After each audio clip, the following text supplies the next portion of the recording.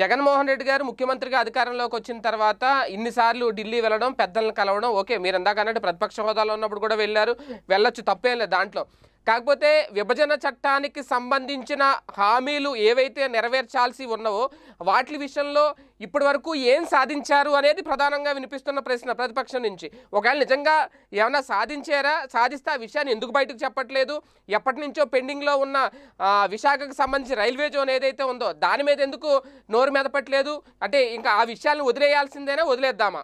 Sir యాభై ఐదు వేల కోట్ల రూపాయలు ఏదైతే ఉందో పోలవరానికి సంబంధించినటువంటి దాంట్లో ఆ పోలవరానికి సంబంధించి మన కేంద్ర జలశక్తి శాఖ కూడా యాభై ఐదు వేల కోట్ల రూపాయలకు ఆమోదం తెలిపినటువంటి మాట వాస్తవమే కదా. అది మీ హయాంలో జరగలేదు కదా. మా హయాంలోనే జరిగింది కదా. ఏదైతే పునరావాసానికి సంబంధించిందో దాన్ని పెరిగిన అంచనా ఏదైతే ఉందో వాటన్నిటి మీద కూడా ఈ రోజు మేమే కదా విజ్ఞప్తులు ఇచ్చింది. అదే విధంగా మీరు అన్నారు విశాఖపట్నం రైల్వే జోన్ గురించి. మీరు ఇక్కడ నుంచి రాజ్యసభ సీటు సురేష్ ప్రభుకి ఇచ్చారు. ఆ సురేష్ ప్రభు రైల్వే శాఖ మంత్రి. అప్పుడున్నప్పుడు రైల్వే జోన్ సాధించలేక మీరు ఈరోజు తెలుగుదేశం పార్టీ వాళ్ళు రైల్వే జోన్ గురించి ఏం మాట్లాడతారు సార్? విభజన చట్టంలో ఇచ్చినటువంటి హామీలు ఎస్ విభజన చట్టంలో ఇచ్చినటువంటి హామీలని ఏదైతే మెల్లిమెల్లగా నెరవేరుస్తుంది ఇప్పుడు ఈ ప్రభుత్వమే. మేము కేంద్రం దగ్గర ప్రజలు తెచ్చో లేదంటే ఇక్కడ ఆంధ్రప్రదేశ్ రాష్ట్రం పక్కన ఉన్నటువంటి తెలంగాణ రాష్ట్రానికి సంబంధించినటువంటి ముఖ్యమంత్రుల మధ్య చర్చలు చేస్తూ విభజన చట్టంలో ఉన్నటువంటి హామీలని అది నెరవేర్చుకుంటా ఏ రాష్ట్రానికి సంబంధించినటువంటి ప్రయోజనాలు ఆ రాష్ట్రానికి వచ్చేటట్టుగా చూస్తే చొరవ తీసుకుంది. ఆ రోజు ముఖ్యమంత్రి గారు చంద్రశేఖర్ స్వీకారం జగన్మోహన్ రెడ్డి గారే. మీరు అది మర్చిపోతే ఎట్లా? మేమేం చేసాము ఏం చెప్పినాం అంటే ప్రజలకు తెలిసి మేమేం చేస్తా ఉన్నాము? మీ మీకు మీ ఛానళ్ళకు పదే పదే మేము ఇంటర్వ్యూలు చెప్పాల్సిన పర్లేదు కదా? తెలుగుదేశం పార్టీ వాళ్ళకి మేము ఏం చేసినా నచ్చదు. మేము ఏం చేసినా మీరు బురదల్లే పని. మేమన్నా చేస్తేనేమో ఇంకో మేమేం చేసాం ఇది మీరు చేయలేదు మేమేమన్నా స్టార్ట్ చేస్తేనేమో లేదు. మా కార్యక్రమం ఇది. మళ్ళీ జగన్మోహన్ రెడ్డి గారు బిగిన్ చేస్తారు అంటే తెలుగుదేశం పార్టీ వాళ్ళకి చెప్పక్కర్లేదు. వెంకటరెడ్డి గారు ప్రజలకు సమాధానం చెప్పాల్సిన బాధ్యత అయితే ఉంది కదా ప్రభుత్వం. శేఖర్ గారు ఇక్కడ నేను ప్రజలకి మేము ఏం చేస్తున్నాం అనేది ఇప్పుడు ఎందుకు ఢిల్లీ పర్యటన వెళ్ళాం? మేము ఢిల్లీ వెళ్ళి ఏమేమి అడిగాం? ఇదిగో ఎన్ని ఎన్ని మెడికల్ కాలేజ్ అంటే గోప్యత అనేది పాటిస్తున్నారు. ఢిల్లీ వెళ్ళి ఎందుకు పాటిస్తున్నారు అనేది. ఎందుకు గోప్యత పాటిస్తున్నారు? ఎందుకు? అక్కడ ఏం జరిగింది? ఎందుకు చెప్పట్లేదు బయటికి అనేది? సార్ ఎవరు గోప్యత పాటించారు?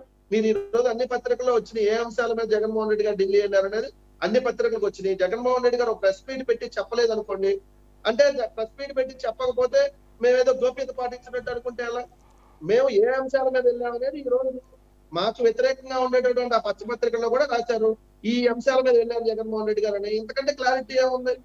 భారతీయ జనతా పార్టీ నాయకులు లేదంటే తెలుగుదేశం పార్టీ నాయకులు లేదంటే జనసేన నాయకులు ఎవరో రాజకీయ పార్టీ నాయకులు విమర్శలు చేస్తే అట్లా ప్రజలకు తెలుసు.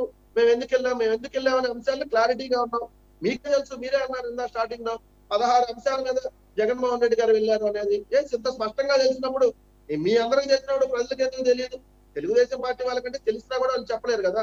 వాళ్ళు కళ్ళుండి చూడలేనటువంటి ప్రభుత్వం కదా. అంటే ఆ పదహారు అంశాలు కొత్తవేం కాదు కదా పాతవే కదా అనేది పదహారు అంశాలు కొత్తగా నిన్న సృష్టించినవి కాదు కదా ఎప్పటి నుంచో ఉన్నవే పదమూడు అంశాలు. ఓ మూడు అంశాలు యాడ్ చేశారు ఎక్స్ట్రా.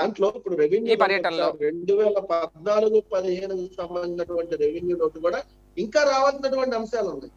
అంటే చంద్రబాబు నాయుడు ఐదేళ్ళలో ముప్పై సార్లు ఢిల్లీ వెళ్ళి ఆ రెండు వేల పద్నాలుగు పదిహేను రెవెన్యూ లోటు ఎప్పుడు ఎవరు తీసుకురావాలంటే మేము తీసుకురావాలా? రెండు వేల పద్నాలుగు నుంచి రెండు వేల పంతొమ్మిది దాకా ఉన్నటువంటి ముఖ్యమంత్రిగా ఉన్నటువంటి చంద్రబాబు నాయుడు తీసుకురాకపోవడం లాగా మేము ఈ రోజు కూడా అడగాల్సి వస్తా ఉంది. మెడికల్ కాలేజ్ కొత్త అంశమే లాస్ట్ టైం వెళ్ళినప్పుడు కూడా ప్రస్తావించున్నారు. ఈ ఈ- సమయంలో కూడా దాన్ని మళ్ళీ త్వరితగతిన దాన్ని అప్రూవల్ ఇవ్వమంటా ఉన్నారు. దిశ చట్టానికి సంబంధించి కావచ్చు లేదంటే శాసనమండలి రద్దుకు సంబంధించినటువంటి అంశాలు కావచ్చు ఏదైతే వెనకబడిన జిల్లాల అభివృద్ధికి సంబంధించినటువంటి అంశాలు కావచ్చు ఇవన్నీ కూడా కొత్త అంశాలు కాకపోయినా కూడా కొన్ని కొత్త అంశాలు యాడ్ అయినా కూడా పాత అంశాల్లో ఇంకా పెండింగ్ ఉన్నటువంటి అంశాలని వన్ బై వన్ అంటే ఒక ఐదు వేల కోట్లు రావాలనుకోండి వెళ్ళినప్పుడల్లా వెయ్యి కోట్లు రెండు వేల కోట్లు రిలీజ్ చేయించుకున్నటువంటి కార్యక్రమం జరుగుతా ఉంది కదా.